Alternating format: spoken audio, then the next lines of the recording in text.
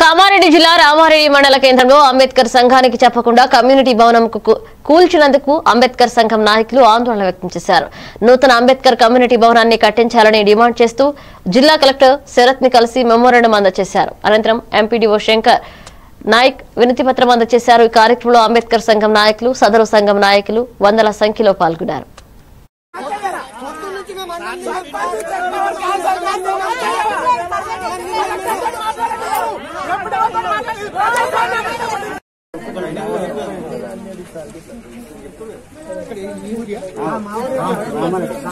తెచ్చినాము రెండు సార్లు చెప్పినట్టు సార్ అండి రామారెడ్డి మండలం లాస్ట్ టైం వచ్చినప్పుడు బ్యాండ్ కోసం వాళ్ళు అడిగారు సో వాళ్ళకి శాంక్షన్ అయిందని అంటున్నారు శాంక్షన్ అయితే మరి గ్రౌండ్ ఎందుకు కాలేదు ఆ డబ్బులు ఎందుకు వాపస్ ఎందుకంటే ఇప్పుడు అంటున్నాడు సాక్ష్యాలు అంటున్నాడు ఏమన్నా అంటే కలెక్టర్ గారి మీద కలెక్టర్ గారు దృష్టిలో కూడా పోయింది కలెక్టర్ గారు కూడా అక్కడ గ్రంథాలయం శాంక్షన్ చేస్తున్నారు అంటారు.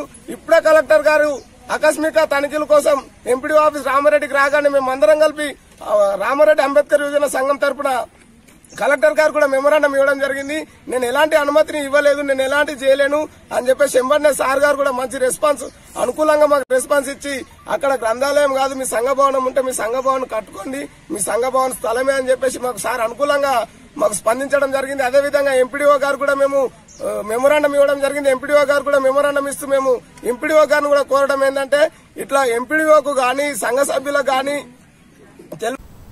తూర్పు గోదావరి